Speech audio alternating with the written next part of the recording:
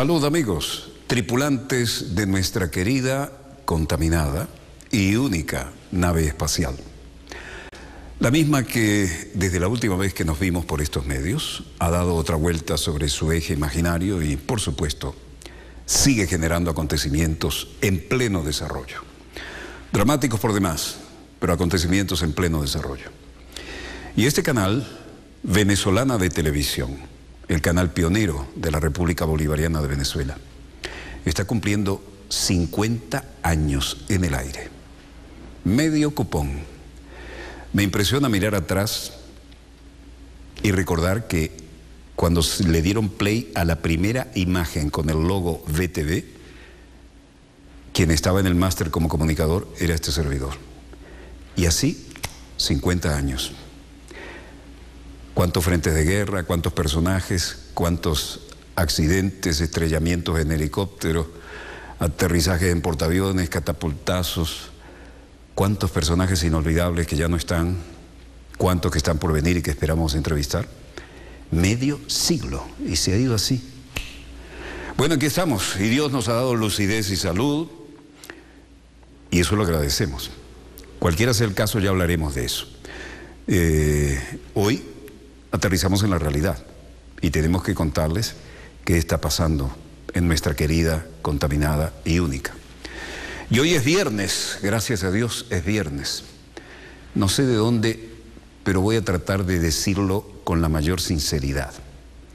Shabbat Shalom, Assalam Aleikum, Pax Vobis.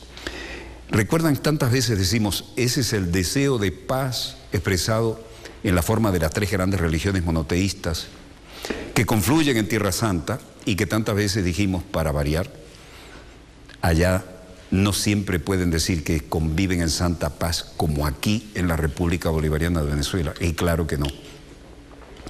Si hay algo que escasea ahora en el Medio Oriente es la paz. La situación en Gaza sigue siendo la gran noticia, no la única, lamentablemente. Vamos a conectarnos con Gaza, señor director. En pleno desarrollo. Desafiante Gaza, con las luces encendidas. Todavía no amanece. No parece que se oyeran los drones. No parece que en este momento estén cayendo las bombas, pero vamos a escuchar con atención. Claro que sí, ahí están los drones.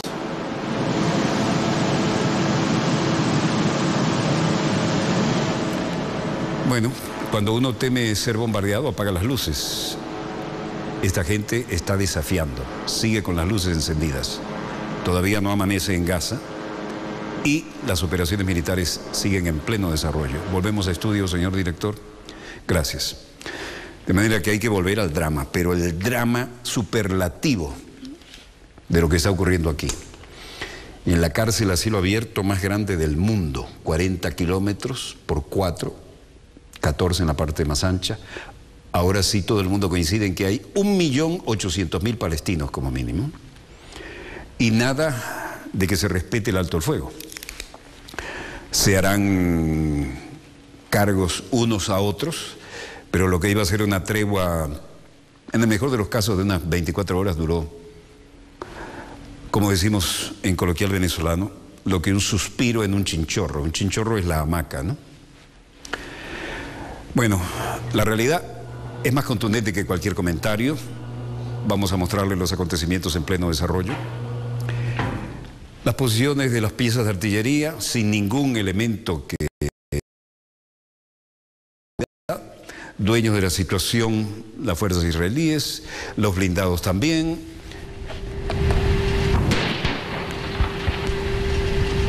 ¿Vieron la diferencia entre el estallido y que llegue el sonido? Esa es la realidad. Grosso modo 340 metros por segundo. Así que estamos como a tres cuadras de esa pieza. Por supuesto lo estamos viendo con teleobjetivo.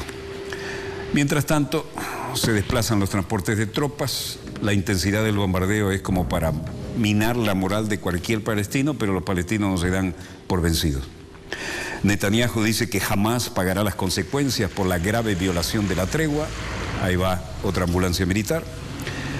Nada más eh, comprobar que el subteniente Hadar Goldin, de 23 años, fue tomado prisionero por los milicianos. La artillería y la Fuerza Aérea israelíes lanzaron uno de los ataques más intensos desde el inicio de la ofensiva Margen Protector. La captura del militar israelí y la ruptura de la tregua serán motivo de una reunión especial del Gabinete de Seguridad. Netanyahu, como de costumbre, jugando al líder duro, tiene que ser duro, ¿no? Porque el héroe de guerra fue su hermano, murió en el rescate de Entebbe. Él nunca se distinguió con el uniforme. Jamás pagará las consecuencias por esta grave violación de la tregua, ha dicho Netanyahu. La tregua entre Israel y Hamas se desmoronó al cabo de dos horas. Los camiones con la ayuda fundamental de alimentos del programa de las Naciones Unidas, trancados, no los dejan llegar.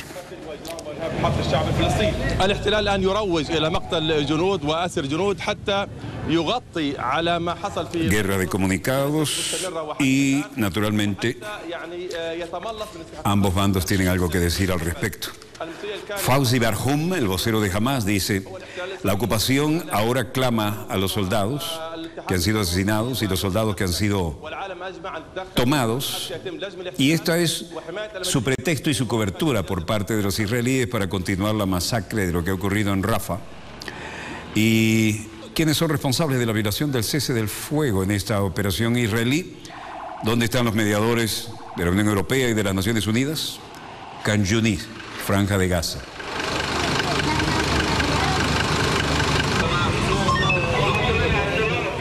Algunos representantes de la Cruz Roja del lado palestino dicen, esto se supone que era, bueno, esta es la media luna roja, ¿no? El equivalente. Se supone que esto era un lugar seguro. La organización de la media luna roja, el equivalente a la Cruz Roja, se supone que tendrían que estar aquí en un área segura. Y estamos cerca de la frontera, estamos aquí cerca del hotel. Pues no, el séptimo piso del hotel fue objeto de un disparo directo. Este era el centro de ayuda psicológica para las víctimas.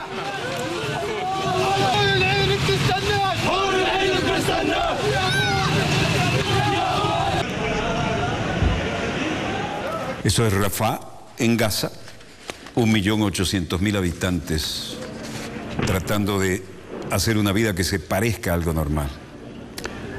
Las ambulancias llevando a los que todavía tienen síntomas de vida para ver si llegan a un hospital que tal vez no sea bombardeado. Y Abdullah al-Aha, residente de Gaza, dice, es una vergüenza lo que están haciendo los israelíes. Están disparándole a todos y a todo. No sabemos hasta dónde va a seguir esto. Esto ocurrió después de que se suponía que había un cese del fuego. ¿De qué clase de cese del fuego nos están hablando? ¿Dónde está Egipto? ¿Ah? Que supuestamente debía supervisar el cese del fuego, el alto al fuego acordado.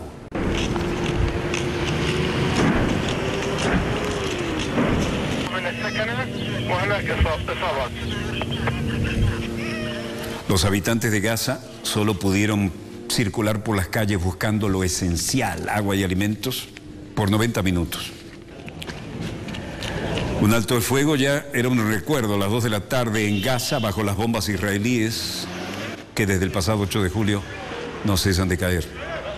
Esta es la tercera ofensiva desde 2008 que sufre el enclave palestino y sus 1.800.000 habitantes. Egipto cerró sus fronteras hace un año tras el golpe de Estado que derrocó a Mohamed Morsi. El ejército israelí que había impuesto un toque de queda viernes por la tarde en la localidad de Rafa y sus inmediaciones. Eyad Baba, vecino de la ciudad de 180 mil habitantes, contaba por teléfono. Todos están aterrorizados desde los bombardeos artilleros de la mañana.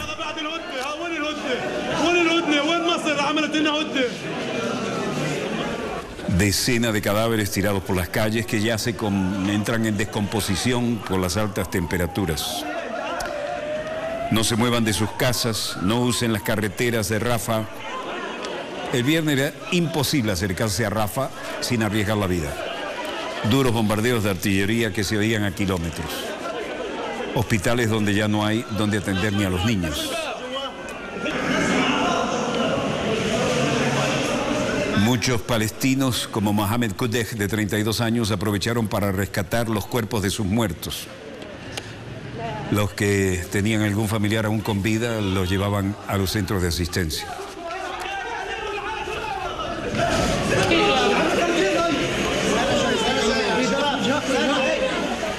Cuenta Kudeh que hace 10 días se refugió con otros 20 vecinos en casa de un familiar llamado Mohamed Kudeh, también un hombre de 70 años. Cuando el ejército israelí entró en su casa, Mohamed creyó que por el pasaporte extranjero le daría seguridad. Se acercó a ellos, sudando al sol mientras las explosiones parecían acercarse desde el este. Contó que un soldado le disparó en el pecho cuando se dirigió a él en inglés. Después llegó un capitán que obligó a todos a desnudarse y fue interrogándoles uno por uno para asegurarse de que no eran milicianos de Hamas.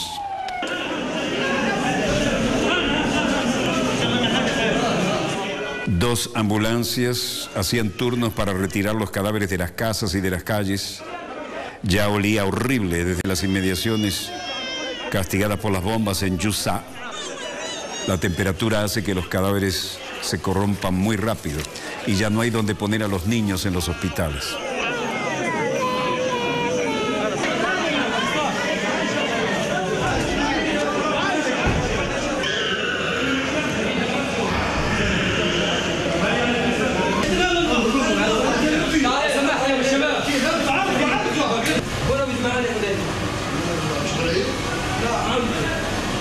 En la morgue tampoco hay lugar para poner más cadáveres y estos se descomponen al sol.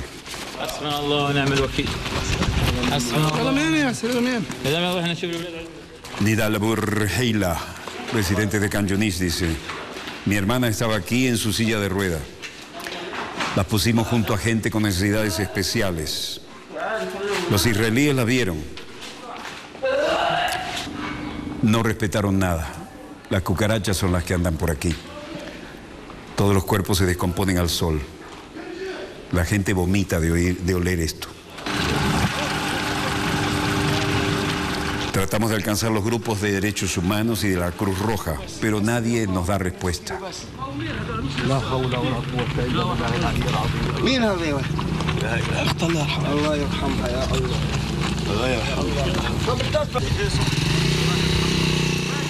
Para los residentes de Gaza, el alto fuego fue solo un mínimo respiro.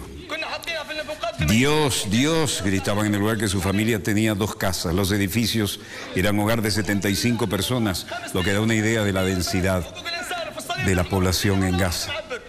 ¿Qué había, qué necesidad había de disparar contra ellos? En otros distritos, los residentes que regresan a sus casas encuentran cuerpos descompuestos. La gente vomita.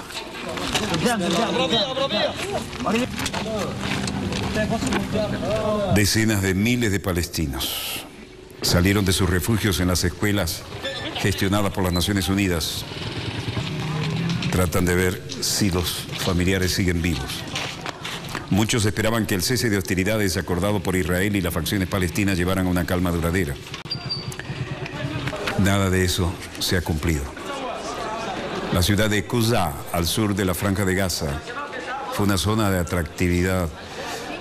Casas hermosas, zonas verdes, ahora son escombros. Los rescatistas tratan de recuperar cadáveres.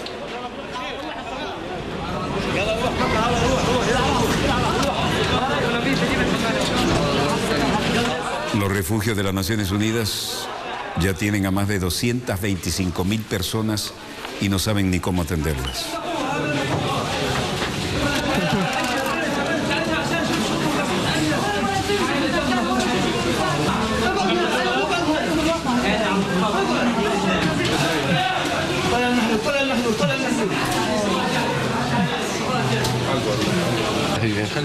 Aunque parezca increíble, los medios internacionales dieron a conocer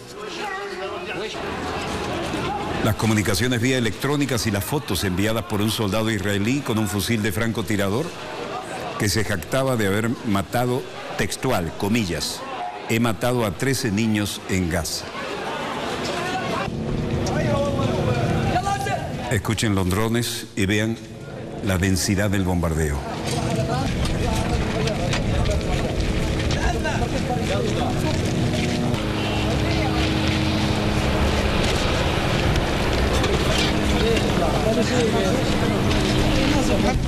Otra cosa que parece increíble, la bloguera israelí Elizabeth Surkov en un tuit dice que israelíes coreaban en las calles de Tel Aviv una canción en la que parecían celebrar la muerte de más de 200 niños en la campaña de bombardeo israelíes en Gaza. Y las imágenes llegaron.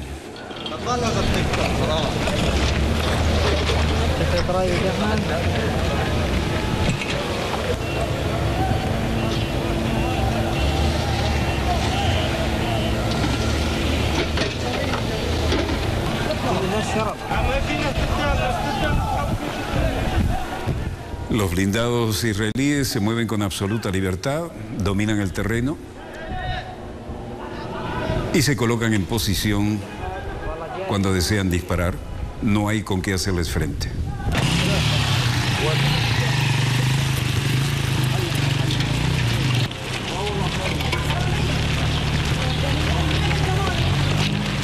Nada. Este es el tristemente célebre soldado que dice, yo maté a 13 niños hoy.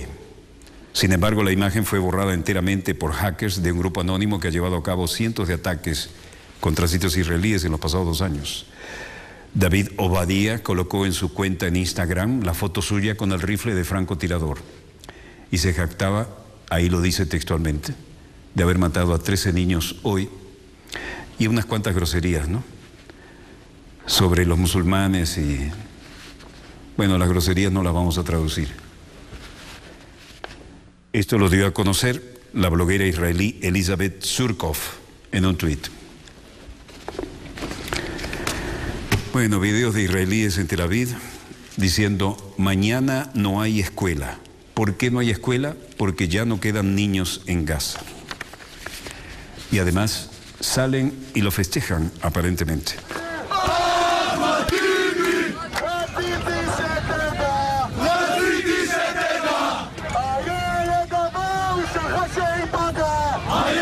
Mañana no hay escuela, ya no quedan niños en Gaza, ole, ole, ole. Gaza es un cementerio, muerte a los árabes.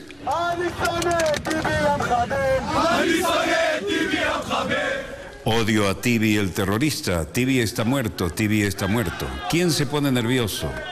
Zoabi es la tierra de Israel. Zoabi es la tierra de los judíos. Te odio de verdad. Zoabi, odio a todos los árabes.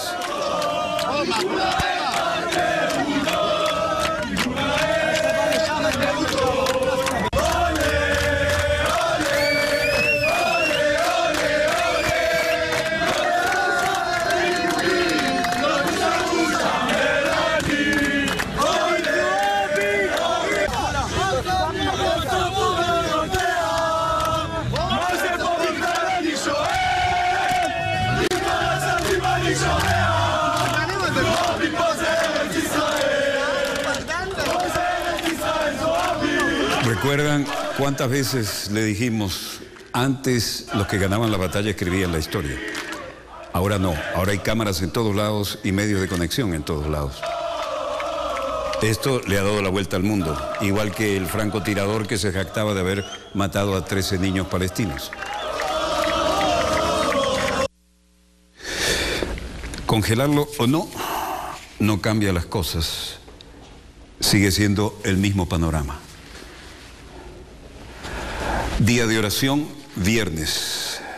Y ahora estamos en Teherán.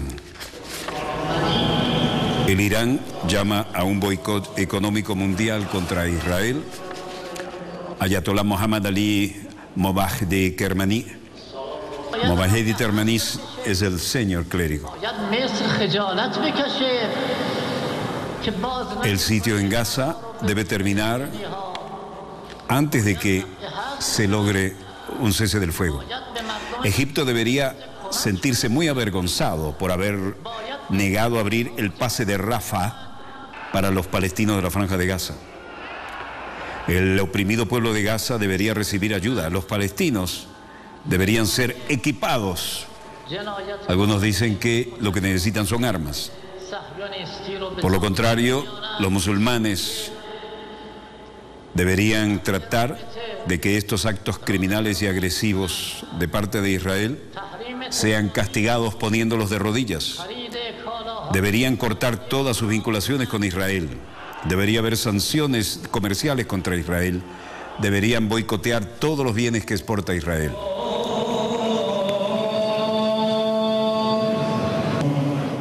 Los gritos eran muerte a Estados Unidos, muerte a Israel, muerte a Inglaterra.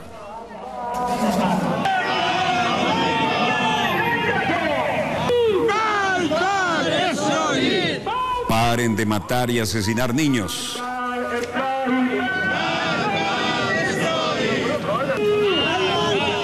Irán llama en esta manifestación y oficialmente también a un boicot económico mundial contra los bienes que exporta Israel. Mientras tanto, en Nueva York,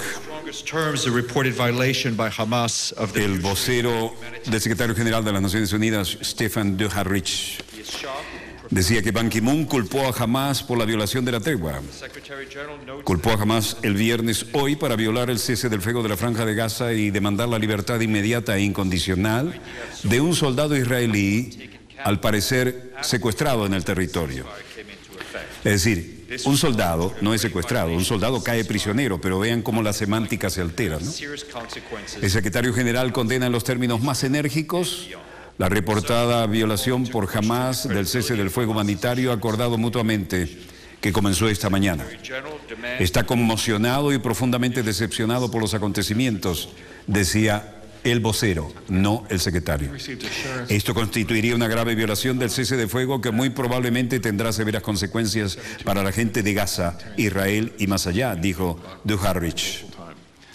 Um, we didn't offer the assurances. We, we were basing the announcement on the assurances that we had received. Jeffrey Feltman, subsecretario general para Asuntos Políticos, dice, hemos recibido seguridades de todas las partes involucradas de que observarían un humanitario cese del fuego de 72 horas y estábamos supuestos que comenzaría a las 8 de la mañana, hora local. Pero la realidad es que nuestra meta no está muy clara y necesitamos que termine esta matanza.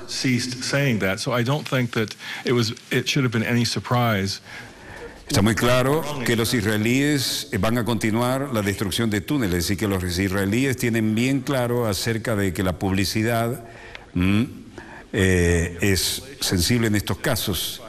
Y por lo demás, es sorprendente que continúen las operaciones después de haberse anunciado un alto el fuego. Ahora mismo, cuando hay una escalada en lugar de un cese del fuego, he pasado un momento bien difícil viendo cómo se trabajaba intentando recuperarlo, pero que no hay lógica, nada ocurre como estaba previsto. Salió a dar la cara Barack Obama.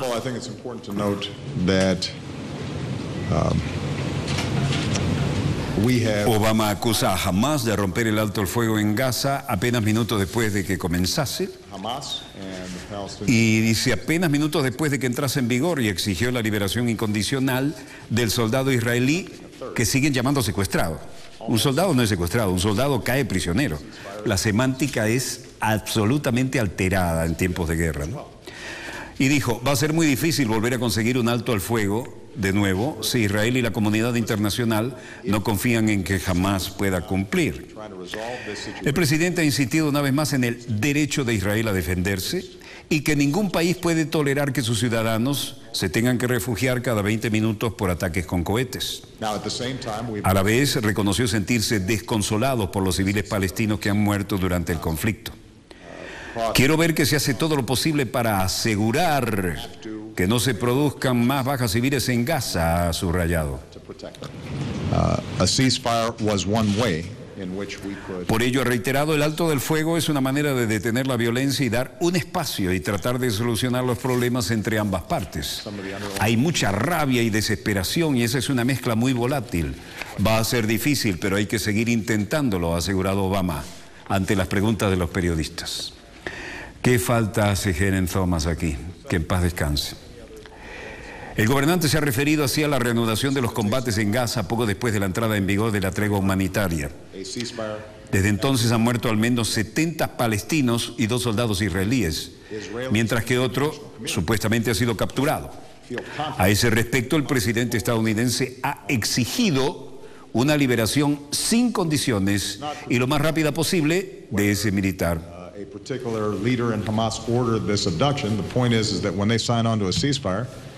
Hicimos cosas que van contra nuestros valores. ¿Quién dijo esto?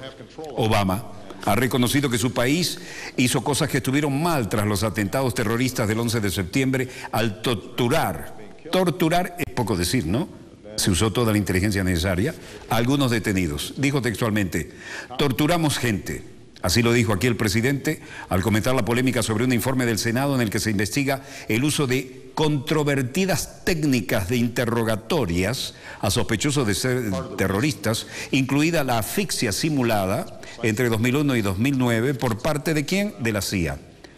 Hemos cruzado la línea. Hicimos cosas que van contra nuestros valores, ha agregado el presidente, quien no obstante ha indicado que hay que entender estas acciones en el contexto de los atentados sufridos por Estados Unidos. Y por ello señaló que no hay que ser ingenuos de manera retrospectiva sobre el trabajo, así lo dijo, de los agentes de los servicios de inteligencia en difíciles momentos tras el derribo de las Torres Gemelas de Nueva York y el atentado contra el Pentágono en Washington y el avión derribado en Pensilvania. Estaban trabajando bajo una enorme presión, son patriotas de verdad. Eso tiene que ser entendido y aceptado. Como país debemos tomar responsabilidad de ello para que no volvamos a hacerlo en el futuro. Bla, bla, bla, bla. did something I think that really will matter in a positive way. By unanimous, unanimous consent, the Senate agreed to send $225 million worth of assistance through Iron Dome to Israel.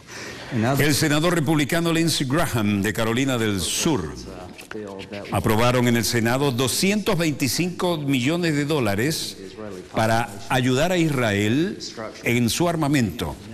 Además, decidieron enviarle todas las municiones que necesiten. Bueno, no necesitan enviárselas. Eh, los depósitos de Estados Unidos también están en Israel, simplemente lo trasladan. Y aquí estaban John McCain, duro, expiloto de caza derribado en Vietnam, hombre de Arizona. Estamos corriendo fuera de los misiles las capacidades de miles y miles de cohetes que caen desde Gaza, de manera que en este punto dramático se necesita, naturalmente, actuar. Le quedan pocos misiles de cúpula de hierro para protegerse a los israelíes. Estamos con vosotros. Aquí están los misiles, decía el senador Graham, y le acompañaba McCain. La semana pasada Israel solicitó la ayuda de emergencia para acelerar la producción de los componentes de cúpula de hierro a fin de mantener inventarios. El operativo israelí Borde Protector entró en su día 25. Y el ministro israelí de Defensa, Moshe Yalon, declaró que Israel se dispone a lanzar próximamente, oigan bien, un ataque de fuerza monstruosa contra Hamas en la franja de Gaza.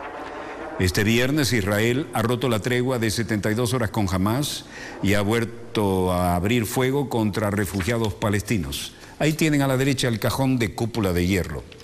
De ahí se disparan los misiles antimisiles. Y eso es parte de lo que es su operativo y su reserva estratégica. Pero como están gastando muchos de ellos, Estados Unidos, que además paga 3 mil millones de dólares para los gastos militares de Israel hasta donde se sabe. Lo demás no se sabe. Ahora, como dicen, están gastando mucho, vamos a mandarle una partida especial de 225 millones de dólares más para que sigan reponiendo lo que están gastando en este sistema cúpula de hierro que tiende a interceptar en el aire los misiles o cohetes que van dirigidos al territorio israelí. Una tecnología muy interesante y que hasta ahora parece que va dando resultados, no en todos los casos.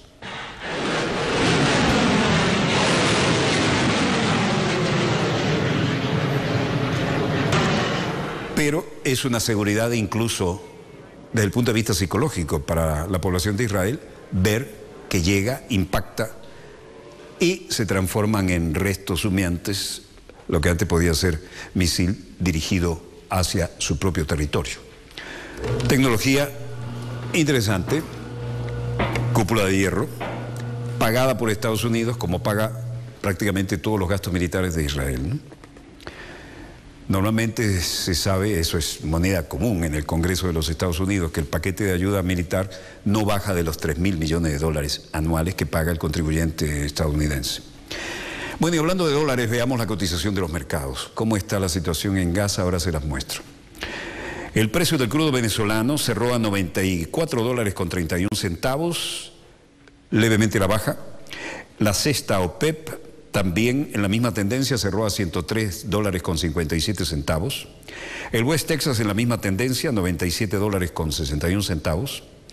El Brent del Mar del Norte igual, pero cerró por encima de 104, 104 dólares con 63.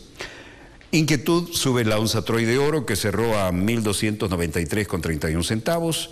El precio del café bajó a 192 con 12 y el cobre subió a 7.103 redondos la tonelada, mientras que el níquel levemente a la baja cerró en 18.510 redondos la tonelada. El euro subió un punto y cerró a 1,34 respecto a la divisa estadounidense. Vamos a ver cómo está la situación en Gaza, todavía no amanece. Conectamos, señor director. Impresionante el sonido de los drones, ¿no? Imposible no oírlos.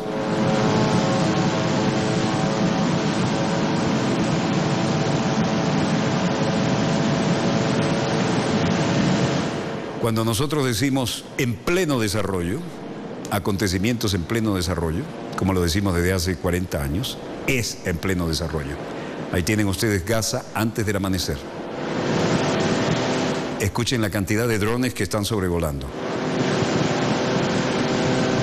No solo pueden ser portadores de misiles de alta selectividad y puntería, sino de cámaras para tener idea cámaras nocturnas también para tener idea en tiempo real de lo que está ocurriendo en el teatro de operaciones y por supuesto mucho material de inteligencia.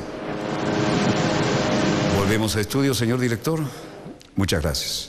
Breve corte, volvemos con más acontecimientos en pleno desarrollo. No se los pierdan, ya volvemos.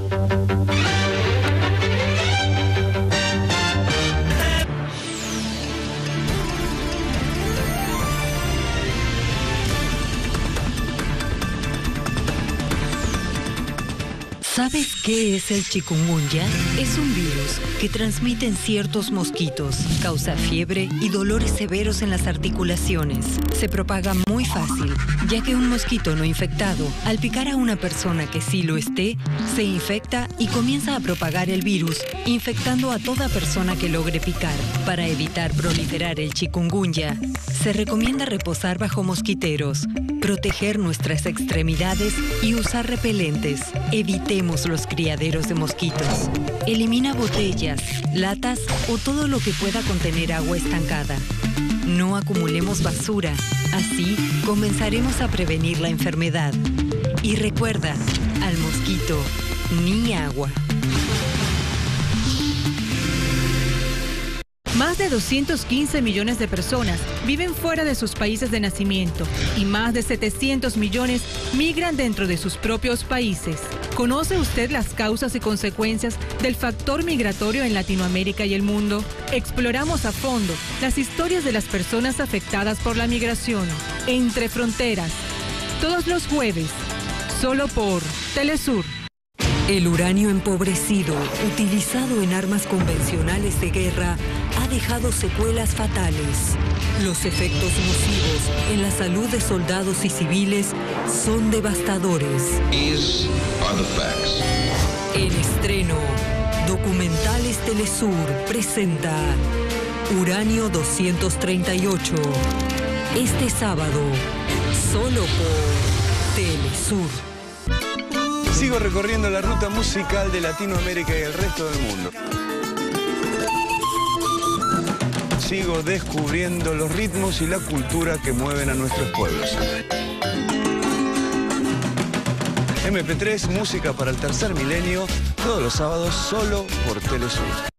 Este sábado, en el medio digital, El software libre como herramienta para contrarrestar la dependencia tecnológica.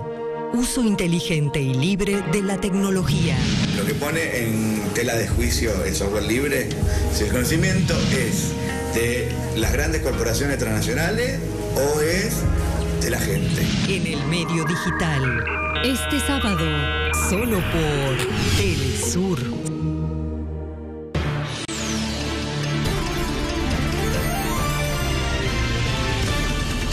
Volvemos con más acontecimientos en pleno desarrollo. Y hoy en nuestras latitudes hubo noticias que se suponen altamente positivas. Hubo un encuentro cumbre en la histórica Cartagena de Indias, nada menos que en San Pedro Alejandrino, ¿no? profundamente vinculado a la historia bolivariana, incluso al último suspiro del libertador. Y los presidentes de Colombia y de la República Bolivariana de Venezuela se reunieron allí. No seremos nosotros quienes les contemos qué pasó allí, porque nosotros preferimos compartir con ustedes los acontecimientos en pleno desarrollo. Así que nos vamos a Cartagena de Indias, jugando con el tiempo, hablando de tiempo. Eh, hay un error de paralaje aquí. Vamos a tomar otra vez. Me voy a fijar en el monitor más que en mi puntero. ¿M? Eso es lo que llamamos en cartografía, hasta en artillería, error de paralaje. Ahora sí estoy apuntando a Cartagena de Indias, porque sobre este mapa también mandé poner una lámina de plexiglas para protegerlo y eso genera una pequeña diferencia y no quiero que ustedes paguen por el error de paralaje nuestro. Ahora sí se los mostré. Bueno, eh, acontecimientos en pleno desarrollo. Y eso supone que los protagonistas hablan y ellos nos cuentan. Para eso los pusimos allí, ¿no? Bandera de la hermana República de Colombia.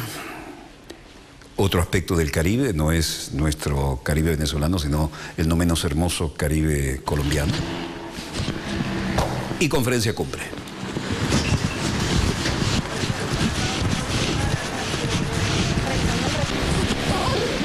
Intensísimas medidas de seguridad muy bien manejadas. Santos y Maduro, Maduro y Santos afianzan relaciones.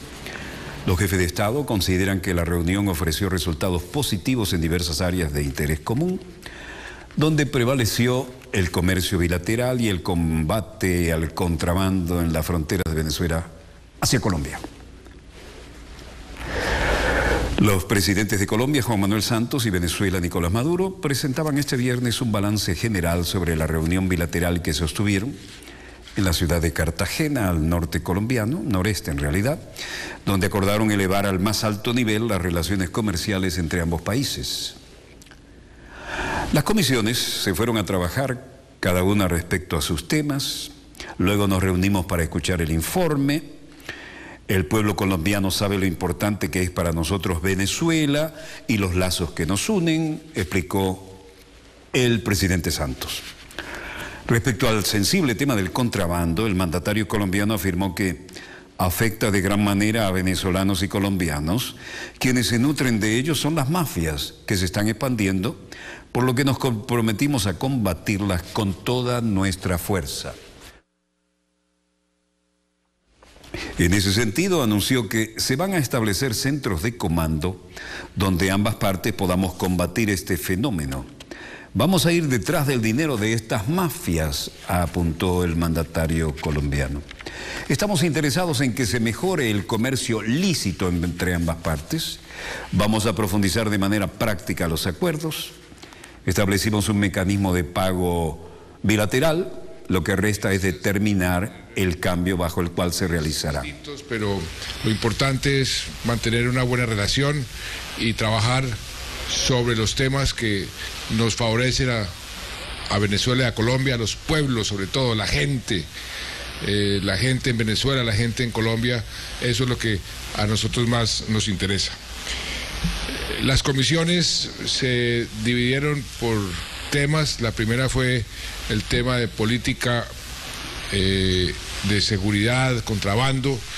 Eh, ahí se concentró buena parte del trabajo porque el tema del contrabando es un tema que nos está afectando de manera grave tanto a los venezolanos como a los colombianos. A los venezolanos porque los productos que deben consumirse en Venezuela se vienen para Colombia y a los colombianos porque esos productos que vienen a unos precios muy inferiores a, a los precios que se venden en Colombia, pues afecta muchísimo el sector productivo y en el entretanto los que se nutren de esa contrabando son unas mafias que cada vez están eh, expandiendo sus tentáculos y por eso nuestra determinación de combatir ese flagelo con toda la contundencia del caso. Eh, ahí estuvo eh, por parte de, Colombia el señor ministro de Defensa, con el comandante general de las fuerzas militares, con el señor director de la policía. se establecieron unos mecanismos de trabajo, unas metas concretas, unas operaciones concretas, se va a establecer unos centros de comando y control conjuntos, donde eh, tanto colombianos como venezolanos van a estar presentes para poder combatir con más eficacia este fenómeno. Y algo también muy importante, eh, Colombia tiene una entidad que hace inteligencia financiera, eh, una entidad que eh, ha sido supremamente útil y Venezuela también. Entonces vamos a trabajar juntos las dos entidades para ir detrás del dinero de estas mafias que están eh, alimentándose del contrabando. En materia de comercio y de finanzas, pues estamos muy interesados en, así como queremos combatir el contrabando y el comercio ilícito, queremos que se incremente el comercio lícito. Y por eso ah, establecimos varios eh, caminos para tratar de, mejorar el comercio lícito de ambas partes. Eh, vamos a profundizar eh, en, la forma, en forma práctica el acuerdo de alcance parcial y establecimos eh, un sistema, un mecanismo de pagos bilateral em, para facilitar eh, la parte financiera del comercio. Em, lo único que eh, queda por determinar, y eso el gobierno venezolano va a tomar esa decisión, es el tipo de cambio a que, frente al cual se van a hacer o que se va a utilizar para hacer transacciones en moneda local, es decir, eh, bolívares con pesos, pero eh, los excedentes se van a tener, deben ser convertidos eh, a una moneda convertible, perdón la redundancia, y ese tipo de cambio es el que se va a fijar por parte del gobierno venezolano. también revisamos los compromisos establecidos dentro de la comisión administradora eh, del acuerdo de alcance parcial. Se ha venido avanzando en los pagos de ciertas deudas, por ejemplo, en el, tema de eh, las aerolíneas, el tema de Avianca, ya se informó que hay un cronograma de pagos que se está atendiendo debidamente. Em, también em, se habló en, otra comisión sobre el tema de minas y energía. Em, ahí son muchos los proyectos que están en camino. Em, la decisión que, tomamos fue acelerar esos proyectos. Em, ahí también hay una noticia importante y es que vamos a estudiar, el gobierno venezolano va a hacer una propuesta, se va a firmar finalmente hoy el acuerdo de transporte internacional de carga y pasajeros por carretera. Esto era una petición eh, de, los dos sectores privados, de los usuarios de ese eh, transporte y hoy em, se va a firmar finalmente ese acuerdo que en cierta forma regula y reemplaza lo que se había tenido en la CAN antes de que Venezuela se retirara de la Comunidad Andina de Naciones. También eh, la ministra Cecilia Álvarez nos informó que avanza la obra del puente de tienditas. Esa obra debe estar lista en eh, junio del año entrante y esperamos eh, inaugurar, presidente Maduro, esa obra, usted y yo, en esa fecha. Y hay otras obras que también nos comprometimos en, en apurar, en tratar de adelantar a la mayor brevedad posible.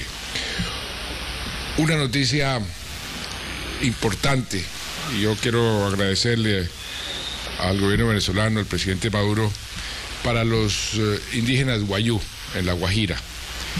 En este momento todos sabemos eh, la crisis que están teniendo por la falta de agua, la sequía, estamos trabajando en esa dirección, pero también porque no tienen acceso a los alimentos que antes tenían porque se suspendió el comercio eh, debido a que algunos inescrupulosos estaban abusando del sistema y estaban era eh, eh, metiendo contrabando unos volúmenes muy por encima de las verdaderas necesidades de los indígenas de Guayú. por eso se hizo un censo, un censo que ya está listo, para que ese comercio y el acceso a los alimentos por parte de los indígenas guayú en Venezuela se restablezca. Y eso, esa decisión eh, ya la tomó el gobierno venezolano en los próximos días o en próximas semanas se va a poner en marcha. Esto es una gran ayuda, el presidente Maduro, para estos 140 eh, mil indígenas guayú.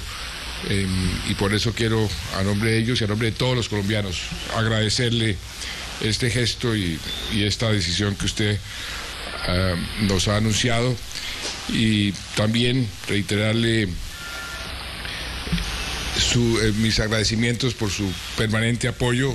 Hablamos de, ese tema también en, extenso al proceso de paz. Es un proceso, como ustedes saben, que le conviene no solamente a Colombia, sino a toda la región. En su momento, el presidente Chávez le pidió a la guerrilla muestras contundentes de su voluntad de paz y yo creo que es el momento de reiterar eh, esas palabras del presidente Chávez. Hay necesidad de esas muestras contundentes. El gobierno colombiano tiene esa voluntad eh, y el gobierno venezolano también me ha reiterado la voluntad de seguir apoyando y por eso le quiero agradecer mucho, presidente Maduro. De manera que esta ha sido una reunión eh, muy fructífera. Creo que si ponemos en marcha todas estas decisiones. Decidimos ponerle fechas a muchas de esas decisiones para no incurrir en ese, esa costumbre muy latinoamericana de eh, dejar eh, las reuniones para el futuro o las decisiones para el futuro sin fechas y eso lo que hace es eh, demorar las soluciones pensando nuevamente en la gente. las relaciones entre Venezuela y Colombia han tenido unos objetivos fundamentales, la convivencia entre dos naciones hermanas, pero siempre, siempre teniendo en mente el, bienestar del pueblo venezolano, el bienestar del pueblo eh, colombiano, en gestos como los que acaba de tener el presidente Maduro con los indígenas guayú, pues no, se, no, no serían posibles si esas relaciones no fueran unas relaciones de diálogo sincero y de eh, creación de sinergias para que los dos países eh, se beneficien de unas buenas relaciones. De manera que muchas gracias, presidente Maduro.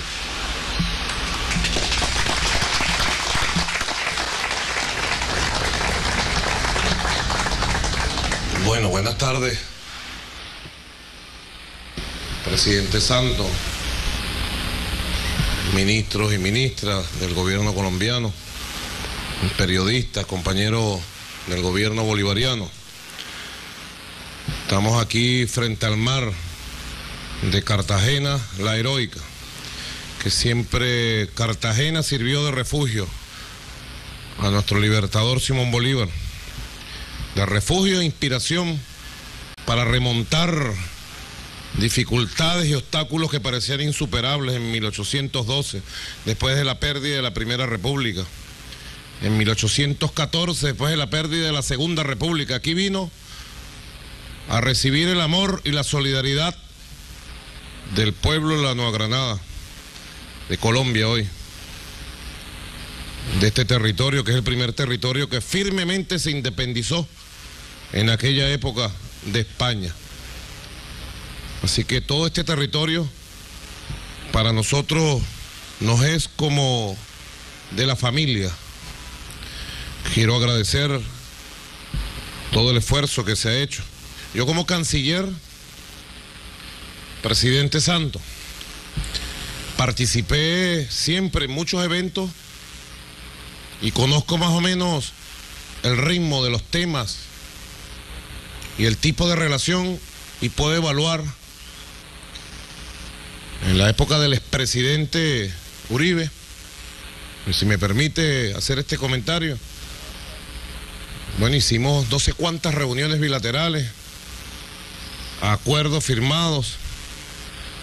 Tengo testimonio escrito y aquí de cómo se llevaron las relaciones entre el presidente Chávez y el presidente Uribe. Ocho años. Bueno, que al final hubo percances que se superaron al final de, de ese ciclo de ocho años, pero lo recuerdo perfectamente.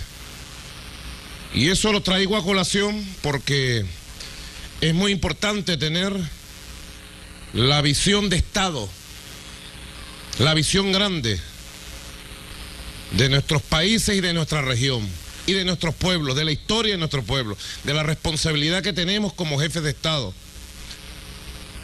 Más allá de las diferencias de visión o ideológicas o políticas o personales inclusive, tener la visión de la responsabilidad que asumimos para tener relaciones responsables, respetuosas, de comunicación, para seguir abonando a la confianza política, elemento fundamental para poder avanzar siempre en todos los temas de la cooperación bilateral entre Colombia y Venezuela, la confianza política, abonarla, abonarla.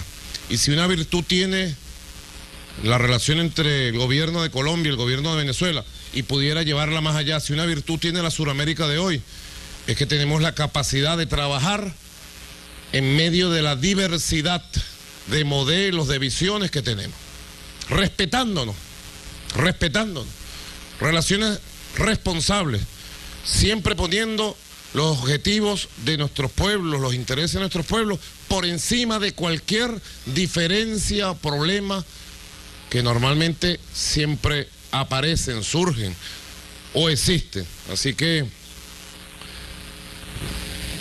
evaluando esa experiencia, creo que la jornada que hemos tenido hoy ha sido extraordinaria, de verdad.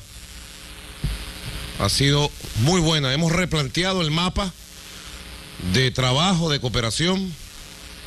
Nos hemos propuesto nuevos métodos para hacer seguimiento de las decisiones de trabajo y que cada uno de estos proyectos en el campo financiero, comercial, energético, social, bueno, lleven un ritmo de cumplimiento real. Igualmente, hemos tomado una decisión que de verdad creo que está en línea directa con las nuevas tendencias de la economía mundial, que es iniciar un proceso de fortalecimiento del comercio real, de la actividad económica, a partir del pago en moneda local, en moneda nacional, y, es, y establecer un sistema de compensación para los superávit, en este caso comerciales, y la convertibilidad en alguna moneda internacional de reconocimiento por ambos gobiernos y ambos bancos centrales. Eso realmente se pierde de vista. Es una decisión que pareciera muy sencilla, pero que va en conexión directa a lo que está pasando en el mundo. Y la posibilidad de fortalecer nuestras monedas, fortalecer nuestro comercio y sobre todo retomar el espacio de una economía sana. Igualmente, hemos decidido ir a un plan que se va a conocer una vez que se active un plan de choque minucioso, detallado, a todas las estructuras del contrabando y a todas las mafias que se mueven alrededor del contrabando. La actividad económica del contrabando es tan poderosa, es tan fuerte, que de alguna manera, me atrevo a decirlo, ha desplazado a la actividad comercial y económica natural, legal y sana entre ambos países. Y nosotros hemos, de manera muy firme, decidido volver a una relación económica del más alto nivel y elevar la relación económica comercial, bueno, legal, sana, que desarrolla bases productivas realmente entre nuestros países y al interno de cada uno de los países. Así que están consustanciadas las dos medidas. La de ir a un proceso de intercambio económico comercial con moneda local y un sistema de compensación en una moneda convertible y avanzar en el plan de choque contra el contrabando, duro choque contra el contrabando. Yo he designado al general en jefe Vladimir Padrino López, comandante estratégico de la Fuerza Armada Nacional Bolivariana, como coordinador central de esta estructura que vamos a activar desde esta misma semana que viene, que es el Centro Binacional de Comando y Control contra el Contrabando. Por la parte venezolana le tocará al comandante estratégico operacional de nuestra Fuerza Armada Nacional Bolivariana asumir esa responsabilidad directa. Igualmente, bueno, vamos a estudiar para tomar decisiones muy pronto un nuevo sistema de venta y distribución de combustible que sea más eficaz en toda la frontera y que resuelva y subsane los problemas del contrabando, de la especulación grosera con el precio del combustible que entra de contrabando desde Venezuela hacia Colombia. Ya, bueno, los ministros han sido instruidos y aspiramos en muy corto tiempo a estar ya con el nuevo formato, la nueva fórmula de implementación de este sistema de combustible de Venezuela hacia Colombia. Y también, como decía el presidente Juan Manuel Santos Calderón, hemos decidido también eh, un plan especial de atención a la comunidad guayú en La Guajira. He instruido también al comandante estratégico operacional de la Fuerza Armada Nacional Bolivariana para que de manera inmediata coloquemos al servicio de este plan todos los medios logísticos de transporte y todo el apoyo para que la comunidad guayú de la Guajira, de la Alta Guajira, reciba los beneficios inmediatos en medio de una circunstancia, como decía el presidente, de sequía y de inclemencia de las condiciones naturales de vida de esta hermana población guayú de la Guajira colombo venezolana. Así que creo que de verdad debemos nosotros, presidente Santos, mantener una comunicación como lo hacemos de manera estable, permanente, franca. Nuestras cancillerías también mantener una comunicación permanente. Los ministros que hemos nombrado coordinadores de la economía, los jefes militares, coordinadores del plan contra el contrabando y seguir afinando cada vez más. Mientras vayamos obteniendo éxitos en todos los campos, en los campos de la economía, en el campo de la energía, en lo social, en todos los campos de la cooperación, habrá un gran beneficiario de esta relación, que es el pueblo de Colombia y el pueblo de Venezuela, a los cuales nosotros nos debemos. Y además nos debemos una historia. Construir relaciones de respeto, de comunicación, de confianza, es un mandato de la historia. Porque esas son las bases de las relaciones de paz. Paz, paz es lo que queremos. Paz entre Colombia y Venezuela y hermandad. Paz dentro de Venezuela y paz para Colombia. Lo dijimos al inicio y de verdad lo creemos profundamente. Y cuente usted, presidente Santo, con el mismo compromiso que aquí mismo, frente a usted, hace cuatro años asumió el presidente Chávez. Es el mismo compromiso. Lo hacemos en Bolívar, en el sueño grande de ver en esta región nacer una poderosa zona humana de desarrollo. Es el mismo compromiso con la paz de Colombia. La hora de la paz no se nos puede escapar. Hay que concretarla con paciencia, con inteligencia, acelerar y se acerca el tiempo de la paz. Seremos muy felices el día en que se llegue a ese momento histórico de firmar los acuerdos de paz y cuente usted con todo el apoyo, humildemente, que nosotros podemos seguir prestando para la paz de Colombia, que es la paz de toda nuestra Sudamérica. Muchas gracias, presidente.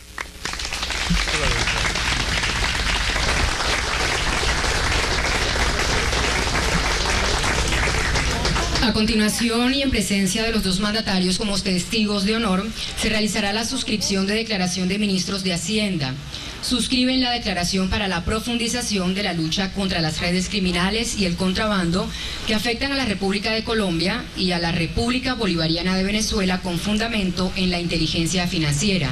Suscribe por parte de la República Bolivariana de Venezuela Rodolfo Marcos Torres, ministro de Economía, Finanzas y Banca Pública, y suscribe por parte de la República de Colombia Mauricio Cárdenas Santa María, ministro de Hacienda y Crédito Público.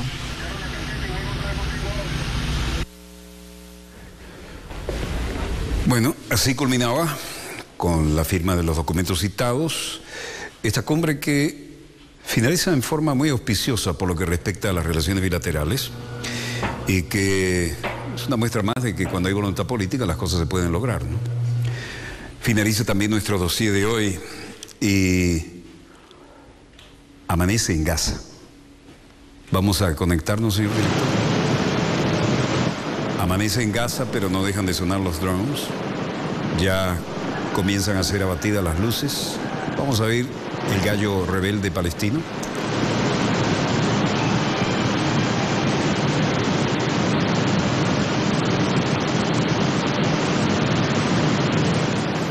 Impresionante el ruido, que no es el ruido de fondo de la franja de Gaza. Ahí está cantando el gallo otra vez. Sino que es resultado de tanto dron volando y tanta maquinaria moviéndose. Al fondo está el Mediterráneo, pero no se puede percibir la línea de horizonte con esta luz que todavía no es suficiente.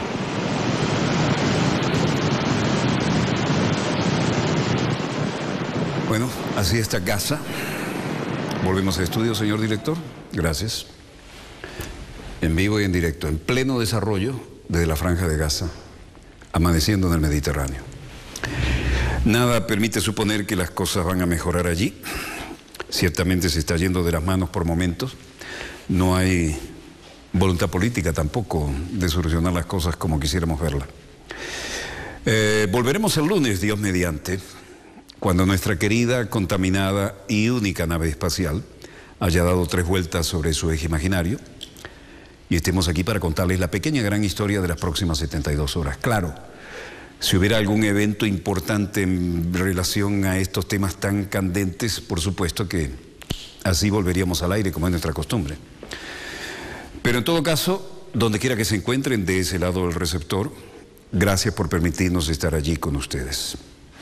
Quiero decirles que este canal, Venezolana de Televisión, cumple medio siglo y realmente me siento impactado, porque cuando le dio play al primer video con el logo de BTV, este había sido antes CBTV, pero cuando el gobierno lo asume y se transforma en VTV, Venezolana de Televisión, el único comunicador, por esas cosas de que uno es fanático de esto, había que darse un madrugonazo, era Cuarta República, era un fin de semana ideal para la playa y otras cosas, ni un ejecutivo pero ahí estaba este hombre con vocación de periodista anotando hasta el número del primer videotape con que salió al aire el primer logo de BTV.